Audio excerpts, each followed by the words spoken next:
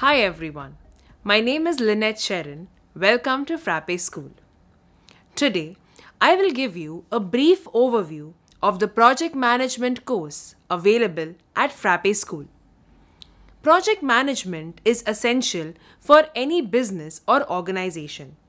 It makes sure that processes in the organization, whether internal or external, run smoothly. Project management includes planning various internal and external projects, breaking them down into tasks, assigning them, and keeping track of how efficiently these tasks are being carried out.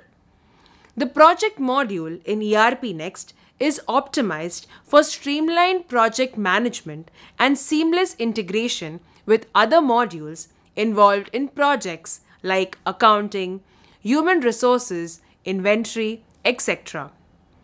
The course is appropriate for almost all employees in the business since project management is relevant in nearly every section of an organization's work.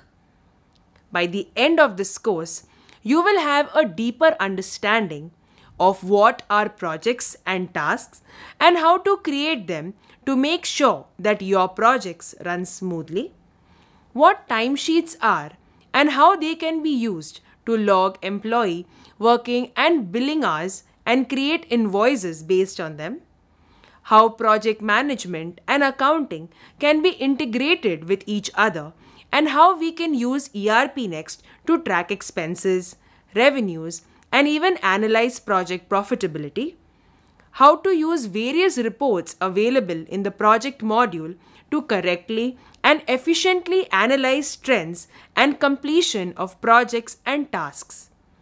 I hope this gives you some insight into ERP Next project module and the project management course. We hope to see you soon at Frappe School.